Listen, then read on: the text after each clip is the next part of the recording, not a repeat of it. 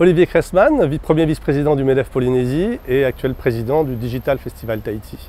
Je suis donc quelqu'un qui, dans le monde économique, est très investi dans le domaine du digital. Et ça, c'est un secteur très porteur pour la Polynésie depuis maintenant 3 ou 4 ans.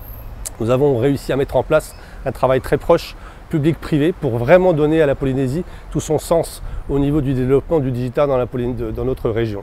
Ça, c'est un élément de développement fondamental, notamment pour nos jeunes et pour l'économie insulaire qui va avec. D'ailleurs, la prochaine édition du Digital Festival, au mois d'octobre 2019, aura comme thème Tech for Island, une concentration de la vision du digital pour nos propres économies et nos problématiques géographiques. Donc ça, c'est un élément clair de développement et sur lequel nous avons besoin d'une aide de l'État.